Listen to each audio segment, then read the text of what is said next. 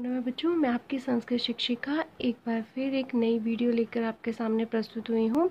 बच्चों, हमने पिछली वीडियो में कत्वा प्रत्यय के बारे में पढ़ा था और आज हम अपनी इस वीडियो में तुमुन प्रत्यय के बारे में पढ़ने जा रहे हैं। तुमुन प्रत्यय, बच्चों, तुमुन जो प्रत्यय संस्कृत में, के लिए प्रयोग किया जाता है। तो चलिए देखते हैं, क्या इसकी परिभाषा है और क्या इसके नियम है। तो सबसे पहले आ जाता है इसकी परिभाषा। जो कि सबसे लास्ट में दी गई है। तो इसकी परिभाषा है, जब दो क्रियापदों का कर्ता एक होता है तथा एक क्रिया दूसरी क्रिया का प्रयोजन या निमित्त होती है तो निमित्तार्थक क्रियापद में तुमुन प्रत्यय होता है। ये बच्चों, इसकी परिभाषा है। ठीक है, जब दो क्रियापद का कर्ता एक ही होगा तथा एक क्रिया दूसरी क्रिया का प्रयोजन बनेगी, किसी कार्य को करने का निमित्त बनेगी। तो उस निमित्तार्थक क्रियापद में हम तुमुन प्रत्यय का प्रयोग करेंगे।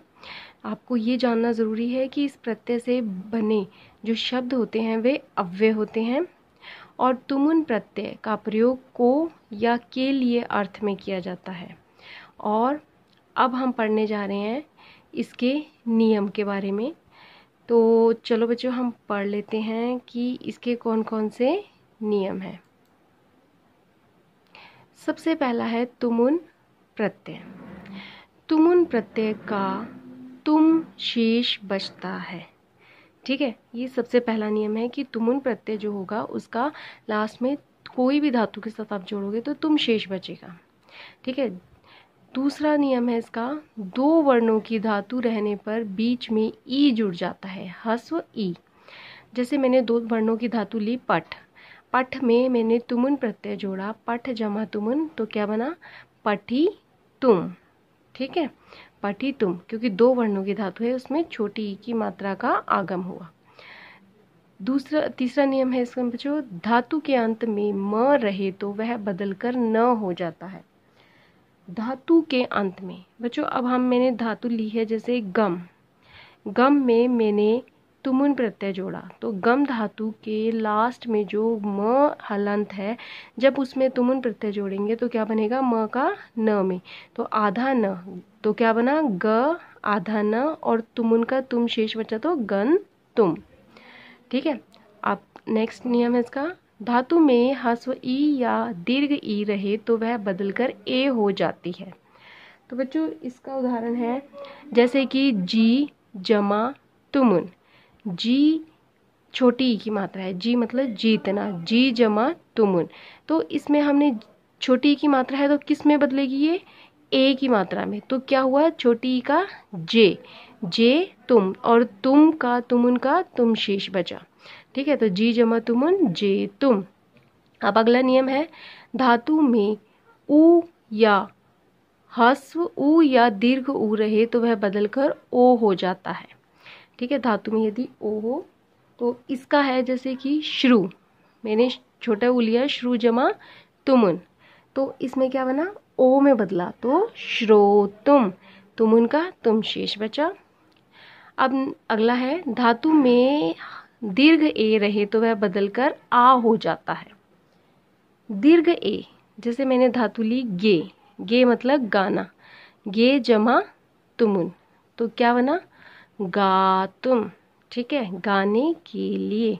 तो गे आ में बदल गया। ए था वो आ में। अब अगला नियम है, धातु के अंत में आ हो तो कोई परिवर्तन नहीं होता। धातु के अंत में आ हो। बच्चों, जैसे कि इसके धातु है ज्ञा ज्ञा जमा तुमुन। तो अगर इसमें क्या है? आ है। तो उसका जब तुमुन प्रत्यय जोड़कर आप नया शब्द बनाओगे तो उसमें कोई परिवर्तन नहीं आएगा। उसमें ज्ञा तुम ही बनेगा। अगला नियम है, धातु के अंत में चवर्ग हो तो कुछ अपवादों को छोड़कर चवर्ग का क हलंत हो जाता है। क हलंत अर्थात आधा क।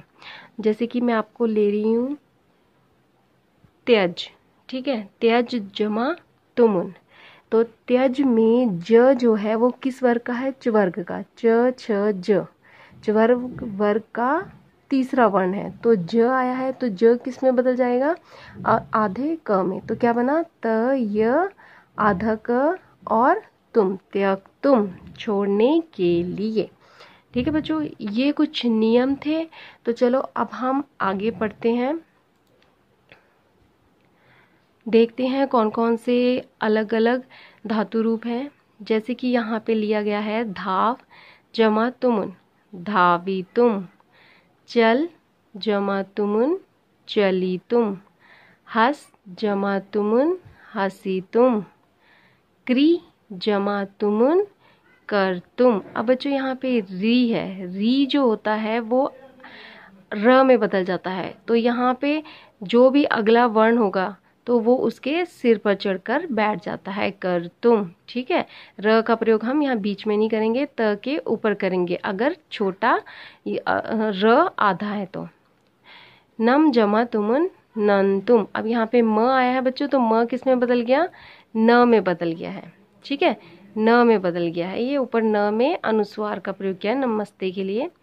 अब नेक्स्ट आता है जैसे गंतुम तो म है जैसे इसमें नियम लगा था, म किसमें बदल जाएगा? न में। तो गम, जमा, तुमन गंतुम ठीक है? समझ आया आपको?